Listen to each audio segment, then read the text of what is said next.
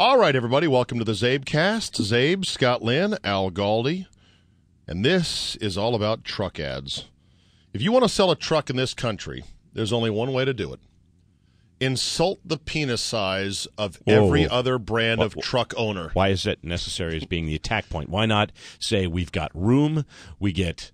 Uh, Oh, know, you can it- point out the virtues of your truck, but Gas it's mileage. Sure, but there's it's- a lot of stuff. Cool sound system, comfort, ride, ruggedness. Why does it have to be That'll about get the, you- about the schwanz? because that'll get you only so far. I guess. As you're about to see, you're going to see that making sure you ridicule other truck owners is a key part of your marketing strategy. Here's Howie Long for Chevy trucks. Notice Howie has a big, heavy pallet of uh, looks like sand or maybe could be cement. gravel, could be cement, could be. Uh, you know what? Knowing Howie, it's probably mulch. He's tossing it effortlessly It's a five pound bag of mulch. Say. into the back of his truck. Here's where we pick up the story. They're just tossing it. in. Love the step.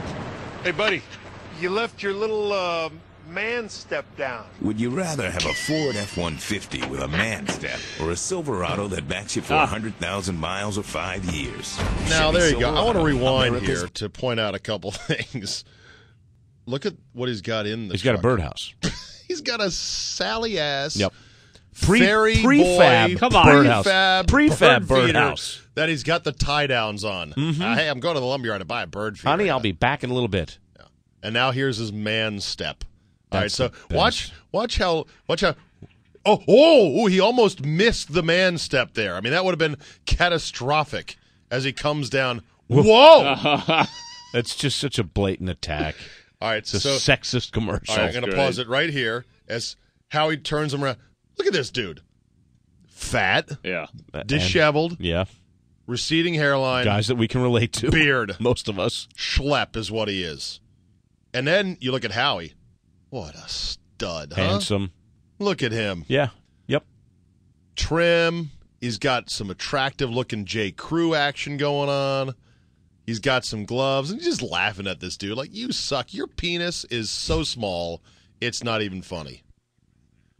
And look at him. He's like, oh, God. He Look at him shaking his head. Like, can't believe I left my man Yep. step I got to drop the gate. I got to put up the man step. Then also, I don't know if you want to rewind it just another touch, Yeah. just to see the way that the casting director for this commercial has him walking once he gets off the man step. Uh, He's It's doing the almost like a penguin walk of prance. Yeah. shame. Yeah, It's like no, no confidence. Yeah, you know, not, not a man, of course. Yeah. Howie, you know, And there's pushes up. Howie. It's it's a beautiful truck. Okay, now uh, that's one of the ads. It's a series of ads that we're playing uh, during the NFL playoffs. Here's another one. New truck? Yep, real trucker's truck. You know, for truckers. Yeah. By the way, nice tablecloth you're wearing. Yeah. Right, and a great hat too. The hat's almost cropped and bleeds off the screen. right, with no logo whatsoever. How is it on gas? 19 highway? 19 highway. now, Howie, I think, is a pretty good actor because watch his reaction. Very natural and great in terms of its condescension. V8? They said V6. V8? Yeah, he's got the quick questions. Everything to poke holes in the proverbial truck owner's balloon. V V8 They should gets just- 19 per get. What? They should- Where's your vagina? All right, Jeez. they should just replace Howie with man. Have fun being a real trucker. See ya.